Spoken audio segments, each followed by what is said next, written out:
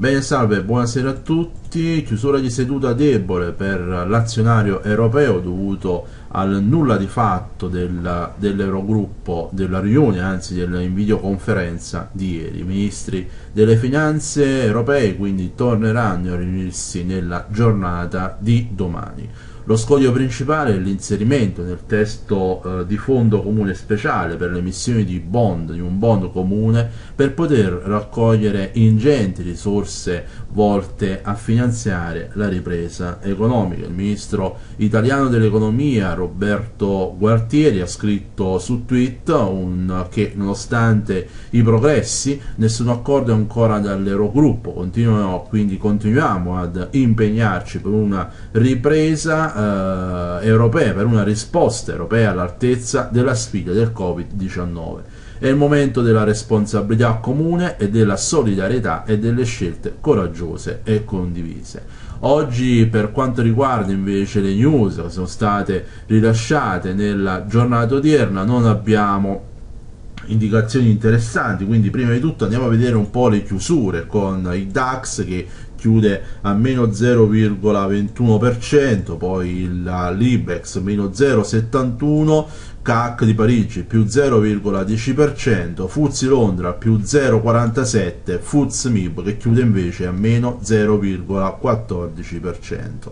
Per quanto riguarda invece eh, la situazione, appunto tutto è rimandato a domani alle ore 17, parte ci sarà una nuova riunione dell'Eurogruppo, sempre in, in videoconferenza differenza. Quindi è stato già preso stamattina con una nota ufficiale dopo che il meeting di ieri, come abbiamo detto prima, si è concluso per un nulla di fatto. Andiamo a vedere invece domani che cosa ci offre il calendario macroeconomico alle ore 8 dalla Gran Bretagna la produzione industriale e manifatturiera della zona euro, mentre alle ore 10.30 dalla Gran Bretagna il PIL mensile. Poi si continua con alle 13.30 abbiamo la, il meeting da parte della Banca Centrale Europea, quindi sarà la volta di Christine Lagarde, sui tassi interessano molto probabilmente non ci saranno delle grosse indicazioni interessanti, poi alle 14.30 una serie di indicazioni interessanti sia dagli Stati Uniti che dal Canada. Si parte con l'indice prezzi alla produzione americana, poi le richieste iniziali alla sussidi alla disoccupazione, mentre invece dal Canada abbiamo un doppio appuntamento, variazione del livello di occupazione di marzo e il tasso di disoccupazione del mese di marzo. Bene, andiamo invece a vedere che cosa è successo oggi. Oggi, come già ho indicato all'interno della chat Telegram, all'interno della diretta live, eh, sia mattutina che ma soprattutto quella pomeridiana come ci si voleva, ci aspettavamo, è stata una giornata che fondamentalmente non ha mostrato delle grosse indicazioni interessanti.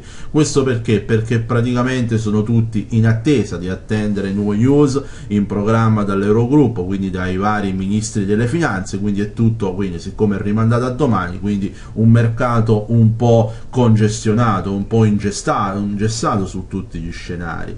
Eh, stessa situazione quindi anche per quanto riguarda riguarda eh, la situazione legata al dollaro americano dove eh, il, il, il Donald Trump ha chiesto al congresso americano di poter firmare un nuovo decreto, una nuova eh, che permette appunto di poter liberare altri 250 miliardi di dollari dopo anche i 750 mille miliardi della scorsa, eh, se, eh, della scorsa settimana appunto per poter dare un ulteriore manforte alle famiglie. Detto questo, andiamo a vedere invece eh, l'unico, diciamo che l'unico eh, situazione interessante abbiamo eh, aumentato il, il, gain sugli indici con l'operazione I16 dove praticamente il buy stop sul Dow Jones dove abbiamo raggiunto contemporaneamente sia il primo che il secondo target a 23.100 23.100 primo target quindi 100 punti secondo target a 23.260 quindi altri 260 punti totale 360 quindi qua abbiamo operazione chiusa 1705 punti quindi praticamente ottime performance. Per quanto riguarda invece l'unica operazione che stamattina abbiamo indicato direttamente all'interno della eh, diretta live mattutina andiamo a vedere invece cosa sta succedendo per quanto riguarda allora per quanto riguarda il Dow Jones o abbiamo un'altra operazione buy a mercato questo movimento rialzista potrebbe continuare intorno fino a raggiungere i massimi anche perché per quanto riguarda al momento la situazione legata al agli indici americani. Andiamo a vedere un po' anche la situazione. Vedete rimane ancora rialzista quindi con il Dow Jones dove siamo a mercato sta a 2,54 più quindi potrebbe stare, ci potrebbe stare una nuova strappo rialzista dopo questa piccola movimentazione questo piccolo zona quindi dove poi abbiamo eh, preso l'ultimo profitto proprio esattamente ad eh, 23.260 infatti piano piano vedete come si sta spostando verso l'alto. Detto questo molto interessante andiamo a vedere anche come dicevo prima per quanto riguarda l'operatività di stamattina unico eh, setup che è partito il buy sull'oro. In questo momento ci troviamo a meno 35 5 punti, vedete come la situazione però è ancora anche qua vedete è molto indecisa con diverse shadow. Siamo su un grafico a 4 ore e potete ben vedere come le candele le ultime 1 2 3 4 5 6 7 8 candele sono relegate all'interno di un'area ben ristretta ben definita con upper e lower shadow quindi ciò sta a significare che praticamente il mercato è ancora molto nervoso molto quindi instabile quindi situazione da seguire quindi anche nelle prossime domani vediamo un po' se riesce però adesso vedete come si sta spostando più su. Ovviamente dobbiamo andare a vedere in serata come chiude il, uh, la candela anche in ottica giornaliera.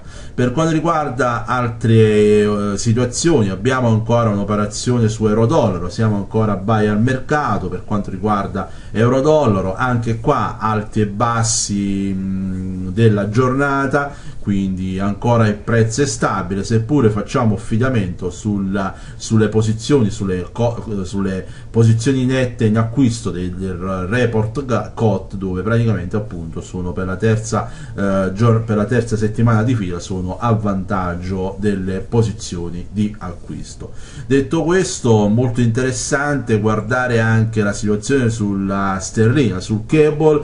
Il cable siamo ancora lasciamo le operazioni operazioni sell a mercato dove il mercato dove, dove adesso vedete si sta portando un po' più in alto. Ovviamente anche qua la situazione è un po' di difficile valutazione. Siamo è rientrato all'interno di questa zona di congestione. Quindi aspettiamo che cosa succede eh, in serata per poi decidere sul da farsi. Eh, per quanto riguarda invece l'altra operazione sterlina dollaro della eh, Nuova Zelanda eh, GBB New Zealand, eh, l'altra operazione che abbiamo, è partita proprio l'operazione la 17 che abbiamo modificato i setup di ingresso a mercato quindi eh, partita esattamente alle ore 16.54 al momento stiamo vedete intorno alla parità quindi lasciamo l'operazione in, uh, in, in sell dove praticamente dopo questa flag vedete questa flag potrebbe